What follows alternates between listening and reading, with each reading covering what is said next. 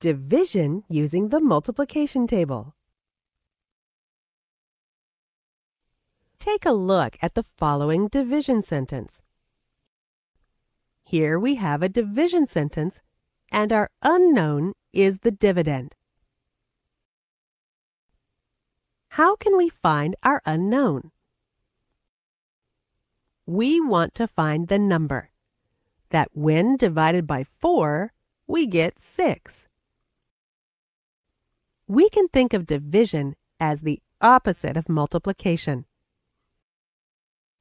For example, dividing a total of 15 elements into three groups, where we have five elements in each group, is the opposite of having three groups of five elements each, and we will have a total of 15 elements. In other words, for a division sentence, dividend divided by divisor equals quotient. We can express it as a multiplication like this. Divisor times quotient equals dividend. In this case, our dividend is the unknown.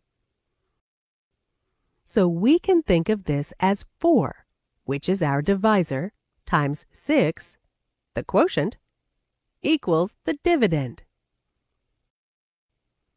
Now that should be easy. We just need to find the result of 4 times 6.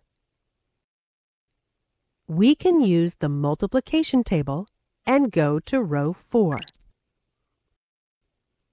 Then move 6 spaces to the right, and we will be at row 4 and column 6, which will be 24. So 4 times 6 equals 24, or 24 divided by 4 equals 6. Our unknown is 24.